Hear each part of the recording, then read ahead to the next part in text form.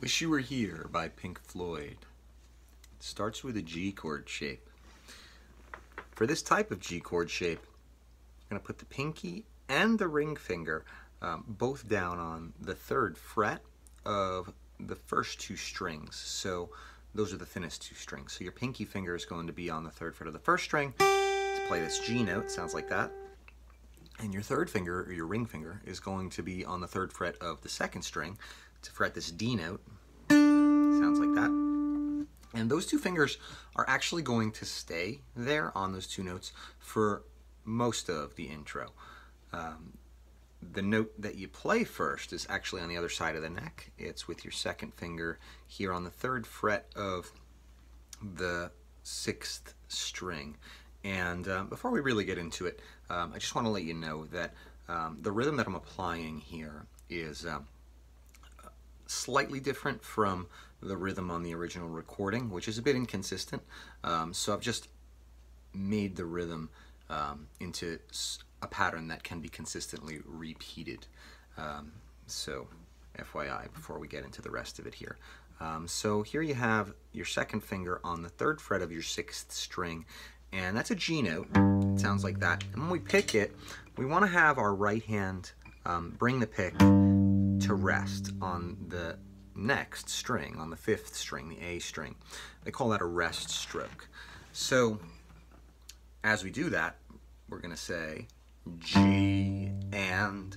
So we say the name of the note for the first half of the beat and the word and as a placeholder for the second half of the beat because this note is going to last for one beat or a quarter note. Um, so let's try doing it together.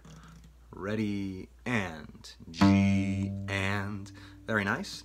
Um, something else that you might find helpful as we're going through this is if you can hook your pinky around the first string and your ring finger around the second string, um, it'll give you a bit more of a physical reference for where you are with your right hand and make it easier for you to find uh, the notes that you're looking for to pick.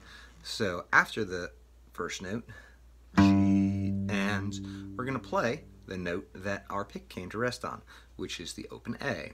And when we pick that, we can lift the second finger. A. So let's try that much together. Ready, and G, and A. Very nice. After that, the A only lasts a half beat or an eighth note, so we are not going to say and after it, just the name of the note, the letter A. We're going to next employ a hammer-on technique. That looks like this. So you notice my right hand isn't doing anything. Literally, my left hand index finger hammered onto the second fret. And just give you a couple angles so you can see. You'll get the best sounding hammer on if you come straight down onto the string with the last segment of your finger. And uh, you want to arrive as close to the fret as you can towards the body of the guitar without actually touching the fret. That will get you the best sound for the least amount of pressure with your hammer on. And it should be a quick motion, like that. aiming for something back here behind the neck, you can imagine. So you hammer through the neck. And uh, you want to make sure when you do your hammer on that you're giving your A the right amount of time, the preceding note. Um, the A and the B, which you're hammering onto, uh, that's a B note there, um, should both get the same amount of time. They should both get a half beat of time or uh, an eighth note, as it's called. So in order to play it properly, um, I like to say G and A hammer to B. And so I insert that little hammer two so that um, I'm not cutting the A short. Frequently when people learn this song, I'll see them do this. G. And I'll cut that A a bit short. And we want that A to get um, the right amount of time, which is um, a half beat of time or an eighth note. So let's try it together uh, saying that vocal.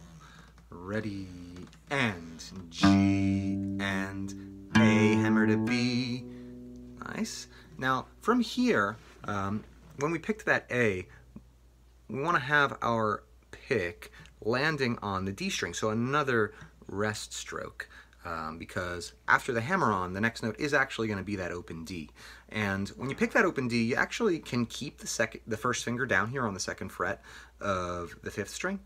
Um, it's a sustainable tone, um, and we're going to need it to be there later, so it makes sense to keep it down. Um, so let's try from the beginning, doing all of that. Ready, and G, and A, hammer to B, D, and.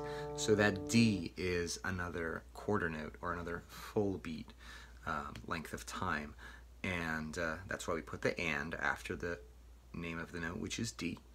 Um, from there, um, you know, if we've been doing rest strokes, after that last note that we picked, the D, we wind up with our pick here on the third string.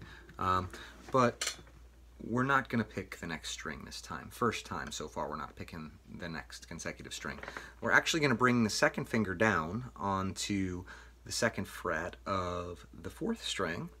Uh, so at this point, we have all four of our fingers down in this chord shape, and we're going to bring the pick back up to pick that note that we just fretted, which is an E. And that note is going to last for two full beats, um, which is called a half note.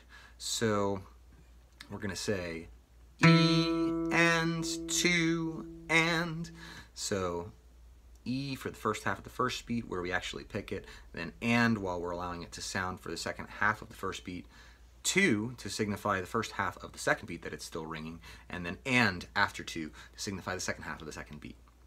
So let's try all of that so far. Ready, and G, and A, hammer to B, D, and E, and two, and. Nice job. From here begins a strum pattern on the same chord that you're holding. That shape there is called an E minor 7. It sounds like this. I'll go through the strings one at a time so that you can hear them. So if you want to compare your chord shape to that sound and see if uh, it matches, it should match if you're in tune to A440. The strum pattern that occurs here goes like this. Down and 2 that's the first part of it. So a dotted quarter note or one and a half beats. Next, it's a good idea to move your hand in sequence with the syllables that you're saying. So you have down and two, and your hand winds up underneath the strings, um, and that preps you to do your next strum, which is an up. So you have like that on the next strum. Let's try doing that much of the strum pattern. Ready, and down, and two, up. So yeah, sorry about that. I played a G chord there in the beginning, but uh, let's do it one more time. So ready, and down, and two, up, and. So there's an and after that up as well, where you move your hand down without actually strumming the strings. Let's add that to what we have so far. E minor 7. Ready, and down and two, up and, very nice. Last component to this strum pattern is there's one more up. So we can go through what we have so far of that and add that to the end. Ready, and down and two, up and up. Very nice. So that pattern rhythmically um, is going to recur many times. Um, so keep it in mind as we go forward. Uh, the next part of the intro is um, another melody where you're going to keep the same chord shape and bring your pick over here to the fourth string, which we're currently holding the second fret on with the middle finger. Um, that makes an E note. Going to play a quarter note on this, E and, and another rest stroke as we pick that note. So we have our pick currently sitting here on the third string, and we're going to play that third string next, which is open. It's an open G. That will sound like this. Ready, and E and G and very nice. And now this is the first time that I haven't done a rest stroke. Um, and you can do a rest stroke there if you want, but the reason why I don't is because you're actually going to come back around the third string now. And you're going to pick this fourth string, which you're still holding the second fret on for that E. You're going to pick that note one more time. So if we add that to what we have so far for this section of the intro, you'll have this. Ready, and E and G and E and when I picked that E the second time, I did another rest stroke, coming to rest on the fifth string, because the next note now is an open D, which we lift the second finger for. So we lift that second finger and we just go back down on that open D. Sounds like that. So let's try those four notes together, starting with the E minor 7 chord shape. Here we go. Ready, and E and G and and D and 2 and. So that last note D, again, two beats. Um, that is also a recurring pattern in this song in the intro. Um, the last note of each of the melody sequences is uh, two beats, a half note. Um, all of them except for right before you go into the chords of the verse. So keep that in mind as we go through it. After you do that D for two times, you're actually going to go back to the um, G chord that you had in the beginning, except this time we're also going to have the index finger down on the second fret, B. Um, so we have this full G chord shape here, and we do the same strum pattern that we did on the E minor 7 chord shape, which is like this. Ready, and down, and two, up, and up. Very nice. So that is the first half of the intro of Wish You Were Here. Um, let's run it together from the beginning. Ready, and G, and A, hammer to B,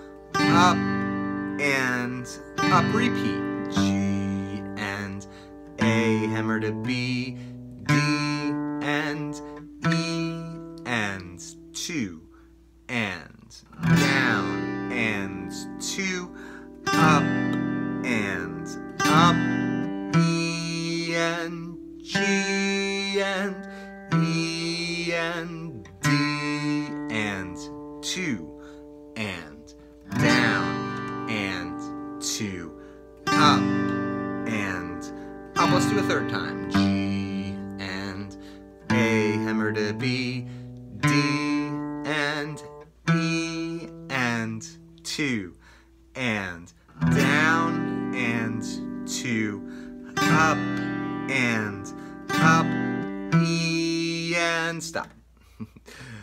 The reason why I brought you there is because uh, at that moment, in the third time that you play uh, the these notes of the intro, we have an alternate ending.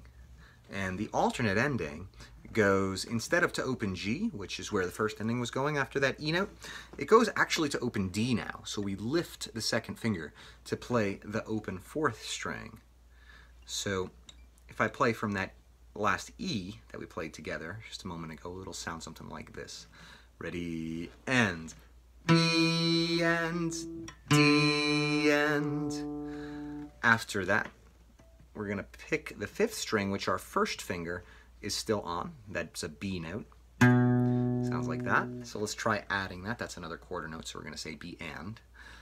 Ready, and B and D and B and.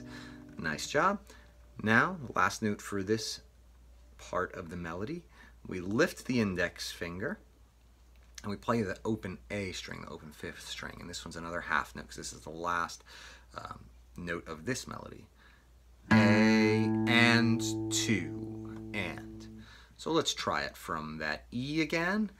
Ready and E and D and B and A and two and. Nice job. From there, the index and middle fingers move in tandem together to the second fret on the middle two strings this time. Um, so this now makes a different chord shape than we had before. Before we had them over a string on the fifth and fourth strings, that makes an E minor 7. Now we have them on the fourth and third strings, which makes a chord that sounds something like this. I'll play from the open A down. This chord is known as A7 suspended 4, or A7 sus 4 for short. Sounds quite nice. Um, and we're going to just apply the same strum pattern that we did on the E minor 7 and on the G chord to this A7 sus 4 now. So we have down and two, up and up. Very nice. So um, if you'd like, we can try going through what we have so far uh, from the beginning. so, by the way, that alternate ending is going to repeat a second time. And uh, so I'm going to be doing that this time, so just so you're ready for it. Here we go. Ready and G and A hammer to B, D and E and two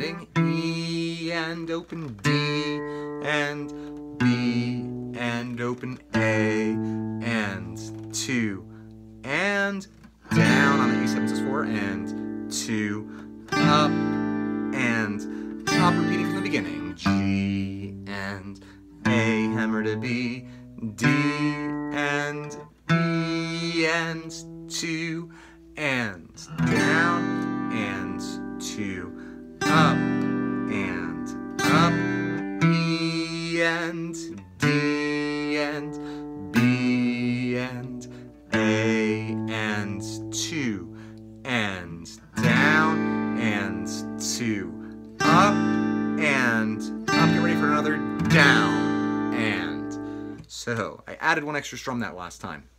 Uh, because after you've gone through uh, the intro with the first ending two times and the second ending two times, um, now comes the transitional part, which transitions into the verse. Or actually the guitar solo first with the repeat of the intro, but then the verse also. So um, that one extra strum is a down. And uh, I'm just going to run through that last set of strums there on the A7 sus 4. So ready and down and two up and up. Here it is. Down and nice job. So your hand moves up one more time um, without strumming. From there, we're going to go open A, hammer to B, which is on the second fret of the fifth string, picking the open A again. So, so far you have three notes. The A, hammer to B, A. Next, you bring your second finger down here to the third fret on the sixth string, the G, which is the note that we started the tune on. So let's try those four notes now. From the open A, ready, and A, hammer to B, A, G, and now we strum a G chord. So just remember to bring your first finger back to the second fret on the fifth string so you're fretting the full G chord.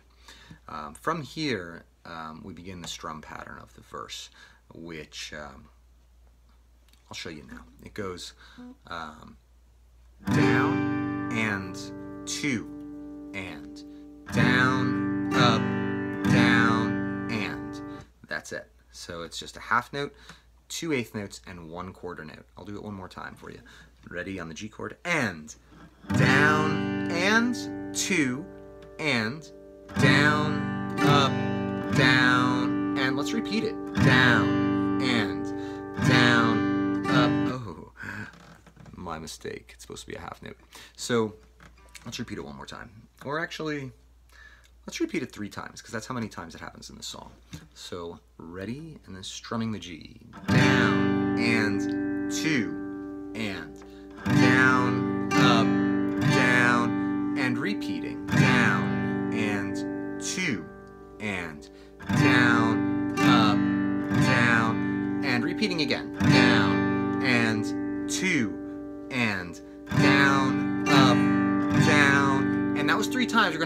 extra down. And now you can repeat the intro. So, that is how you play um, the intro before the solo of Wish You Were Here. And uh, keep in mind that the rhythm that David Gilmour does when he is um, strumming here um, varies a little bit um, from what I was just going over. He does play it that way some of the times and other times he doesn't. But just to keep it consistent for us as we're playing it um, and so that we have uh, a rhythm that we can just remember that suits the song and is appropriate for the feel of the song. That's the way we're playing it. Um, so with that, uh, we'll play the whole intro one time together and um, hopefully I'll have uh, videos up soon for y'all of the solo and um, of the chord progression for the verse and uh, I believe there is a video up already of me playing the whole song. If you'd like to check that out and you'd like to try playing along with it, please feel free. Let's play the whole intro together. Ready and G and A hammer to B, D and E and two and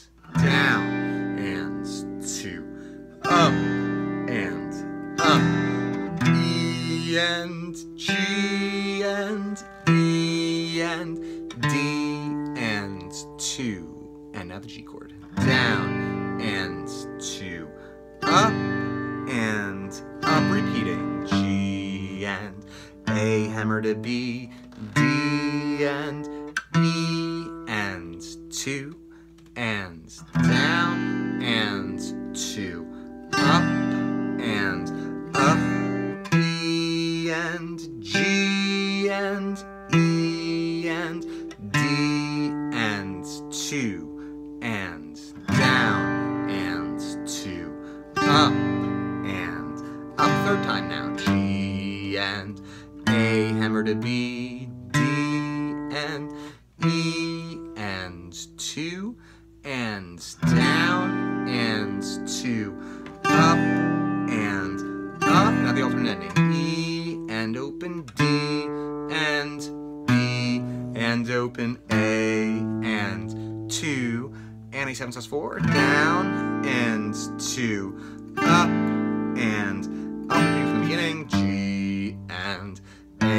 to B D and E and two and down and two.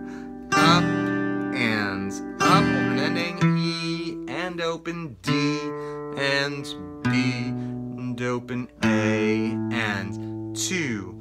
And A seven sus four down and two. Up and up an extra down hammer to B A G strum the G chord and two and down up down and repeating that pattern. Down and two and down up down and one more time. Down and two and down up down one final strum. Down and repeat